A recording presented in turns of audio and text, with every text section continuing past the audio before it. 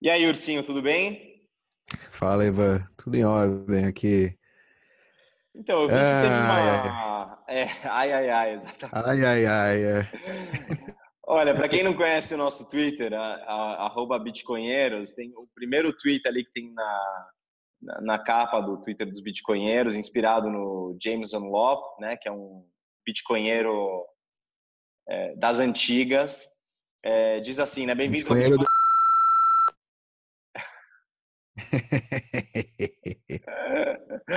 Bitcoinheiro das antigas, né? A primeira pergunta é em quem devo confiar em ninguém, nem nos bitcoinheiros. É, por isso que a gente sempre fala, né? Faça sua própria pesquisa, vá atrás de material de estudo, é, não confie em ninguém.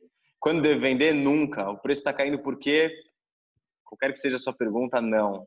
Como aprendo mais? E aí tem o YouTube, o Instagram dos, dos bitcoinheiros. Não, e agora os bitcoinheiros têm podcast, né? A gente está ficando tá ficando legal é. o negócio.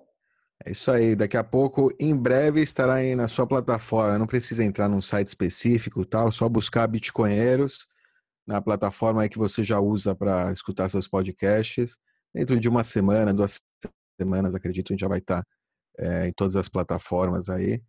Então, podem aguardar quem prefere né, escutar bitcoinheiros indo para o trampo tal, no carro, enquanto está dirigindo aí no trânsito aí dessa selva de concreto aí que vocês vivem, vai vale a pena escutar os bitcoinheiros aí no caminho também.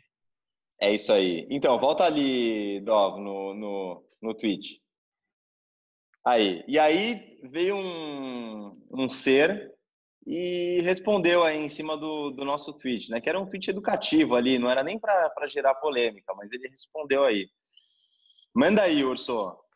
É lá, ele escreve, né? Quando eu devo vender, né? Nunca, que está escrito lá em cima. Péssimo conselho, né? Conselho. É, como ficou provado. Conselho é com S. Amigo, como ficou provado, né? Ao vermos a Bitcoin cair dos 20k para os 3K, né? E aí eu fiquei, eu que não me aguentei lá, né? Podia ter ficado quieto, deixado lá, não tive que responder. Falei, é que é muito fácil, né? Hindsight aí, depois que aconteceu, né? É muito fácil, né? Você falar, era, eu devia ter vendido aos 20k, né? Todo mundo deveria ter vendido aos 20k, né? Ou aos 15, ou aos 10, sei lá. Hoje, né? É fácil você achar que você deveria ter vendido. O problema é, tipo, antes disso, ele passou de mil para dois mil. Você deveria, você, se você tivesse comprado antes, teria vendido a 2 mil, ou nos 3 mil, ou nos 6, e aí depois você vê que continua subindo, você ia comprar de novo. Cara, se você não é trade, meu, trader, você não tá, né, fazendo trade dia a dia, se a sua profissão não é tá tratando com gráfico, né, essas coisas, a melhor né, dica que a gente pode dar para os bitcoinheiros, né, que a nossa visão é que o Bitcoin é algo para longo prazo, né, não da especulação de curto prazo, é fazer roda, né? Segurar a bagaça, meu, continua a sua vida, seja produtivo, faça outras coisas e, e continua a sua vida, é isso aí. A gente fala, não sou trader, abraço. Aí o cara continua, né? Acho que ficou claro aqui o que, qual, era, qual era a nossa, né, é, mensagem ali em cima. Continua, é, não sei qual é a motivação dele.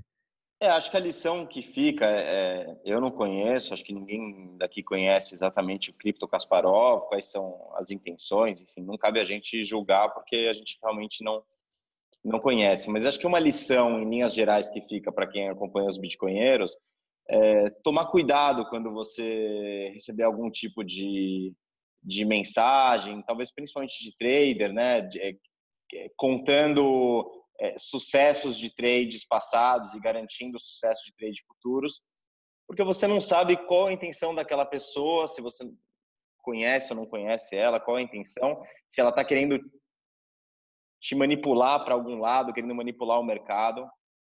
Então, cuidado, fica alerta, né? Acho que essa é a lição. De novo, Exato. a gente não conhece o Cripto Kasparov, mas tomem cuidado porque acho que acontece, né?